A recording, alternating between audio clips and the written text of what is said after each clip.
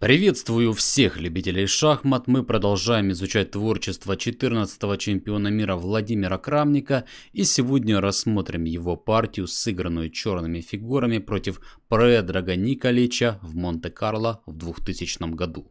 Николич открывает игру ходом d4, Крамник развивает коня, на доске получается позиция, характерная для новоиндийской защиты, но здесь Владимир Борисович устанавливает пешку в центр доски. И с некоторой перестановкой получается полуславянская защита. Черный максимально укрепляет центр, белый вбрасывает ферзя на фланг, прицеливаясь к пешке b7. Но теперь у Крамника появляется возможность решить проблему с самой плохой фигурой черных, а именно белопольным слоном, который упирается в собственные пешки. А именно черный забирает на поле c4 с темпом нападая на ферзя, а дальше создают расширенная фианкета. Ферзь вынужден отступать, Крамник развивает коня по направлению в центр. Белый этот центр захватывает пехотой, черный атакует коня для того, чтобы в последующем нападать на пешку e4, устраняя защитника противника этой пешки. Так после отступления Крамник предварительно играет ферзь, опять создается угроза выигрыша фигуры, белые защищаются, черный открывает диагональ белопольному слону и хотят нападать на пешку Е4. Здесь попытка вскрыть игру не приносит белым успеха, поскольку после массовых взятий на поле c5 с последующим шагом на b5, черный меняет ферзей, перекрывается слоном и несмотря на то, что они лишаются права на рокировку, но налаживает взаимодействие ладей в то время как у белых отставание в развитии. Им нужно еще сделать рокировку, либо пойти король e2, а также вывести своего чернопольного слона, чтобы соединить ладьи. Поэтому в партии Предрак решил толкнуть пешку до поля Е5, нападая на коня после отхода коня, сыграть слон Е2 с возможной рокировкой в короткую сторону. Но Владимир Крамник забирает пешку на поле d4. И чем теперь брать? При взятии конем необходимо считаться с потерей пешки Е5. И как это ни странно, именно сюда белые и должны были идти. Так, после взятия пешки конем, несмотря на небольшой материальный урон, белый получает отличную компенсацию за это. Они могут пойти ферзь g3, нападая на коня и пешку g7. При отступлении набросить флангового пехотинца.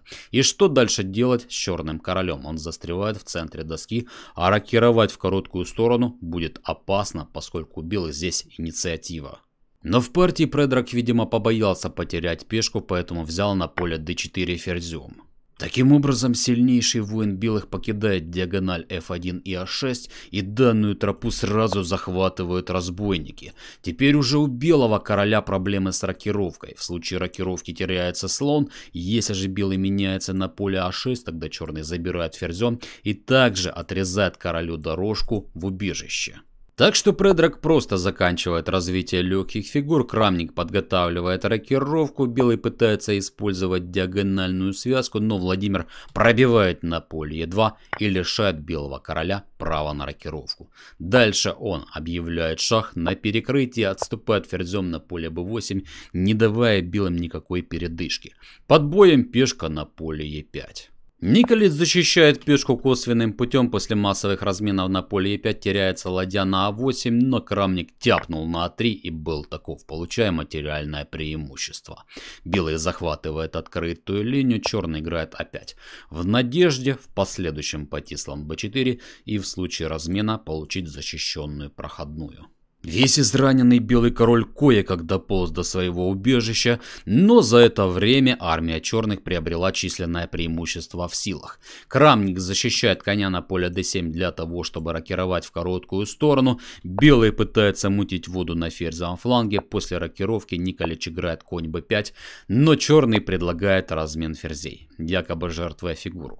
Правда, в случае взятия коня черные могут использовать диагональную связку, ход конь c3 не помогает, поскольку черный пробивает на поле c3. А в случае размена ферзей, после данного размена черный отыгрывает фигуру и получает материальное преимущество. Кроме того, пешка на поле b3 в стане белых является крайне слабой. С учетом этого варианта Николич отказывается от взятия на поле d7 в партии в пользу размена ферзей. И в этой ситуации единственный шанс как-то побороться заключался в прыжке коня на поле c7 с двойным ударом. После обмена конями белый нападает на коня d7, а также издали прицеливается к слону e7, не позволяя забрать центральную пешку. А на оборонительная ладья d8 они могут напасть на пешку a3. И кое-как здесь белые еще держат сражаться.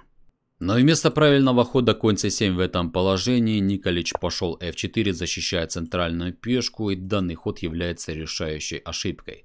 Поскольку теперь Владимир Борисович предлагает размен чернопольных слонов, белый защищает слона ладьей, черный нападает на коня, после взятия на a3 крамник меняет легкие фигуры и пробивает на b3.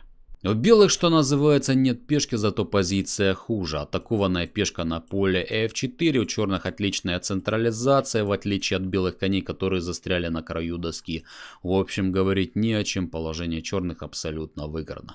Еще последовал ход g3, Владимир переводит ладью на открытую линию и белый допускает грубый зевок. Уже в безнадежном положении они пошли конь c2 и пропустили комбинационный удар ладья c2, после чего сразу сдали сдались, поскольку на взятие на поле c2 последует коневая вилка с выигрышем фигуры.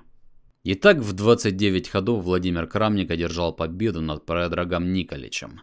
Напишите в комментариях, на какое место в своем личном рейтинге чемпионов вы бы поставили Владимира Крамника. Также не забудьте поддержать видео лайком, репостом, ударом в колокол, потому что шахматы это круто.